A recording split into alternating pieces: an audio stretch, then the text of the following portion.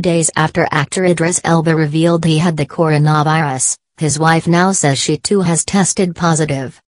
Model, actress Sabrina Dhowre Elba shared her diagnosis with Oprah Winfrey Saturday during a FaceTime on Winfrey's Oprah Talks COVID-19, Apple TV Plus series. Dhowre Elba was joined by her husband as the two of them remain quarantined together.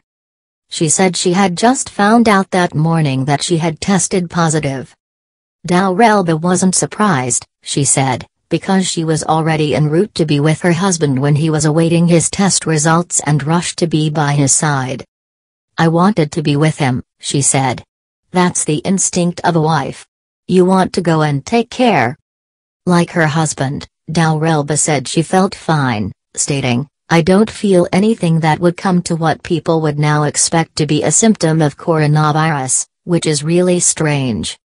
It might change in the coming weeks, and we'll keep everyone updated, she said. But it is worrisome that we're sitting here, two people, and, we're asymptomatic. Elba posted a Twitter live video last week and said he and his wife took a calculated risk by staying in the same residence.